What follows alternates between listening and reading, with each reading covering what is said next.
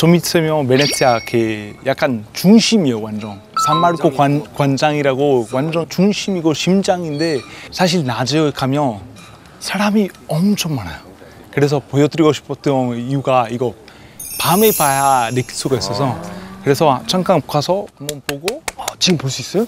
어 그래? 와 대박이다. 알베 잘하네. 이거 약간 오, 감성 여행인데 그러니까. 아니 이제 신뢰도가 엄청 올라갔어 지금.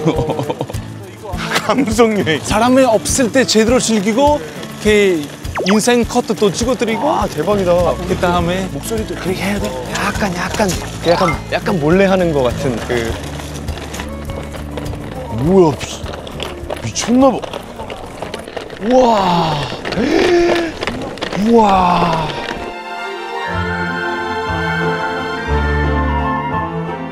와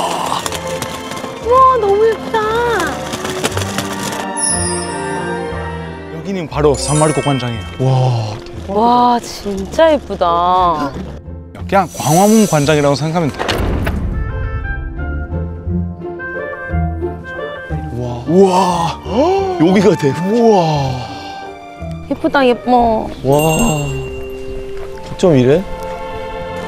밤에 여기- 사람이 없고 여기 밤이네 진짜.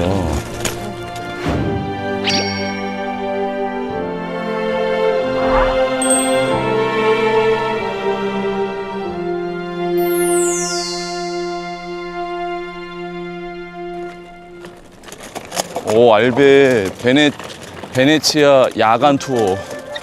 괜찮은데? 밤에는 밤에 많이 돌아다녔어요. 특히 뭐 보통 여자친구랑 많이 돌아다니죠 밤에는. 그래서 베네치아 오는 사람들한테 맨날 그렇게 얘기해요. 만약에 신혼여행 여행을 오잖아요? 낮에 둘이 방에 있어라. 방에 있어라. 낮에는 방을, 방을 즐겨라. 꿀팁 대박. 그리고 밤에는 나와서 산책을.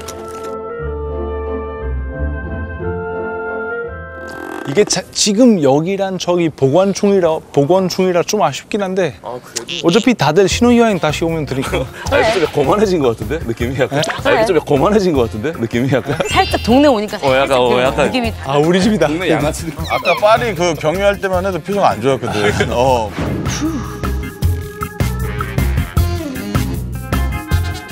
아 이제 집이다 그죠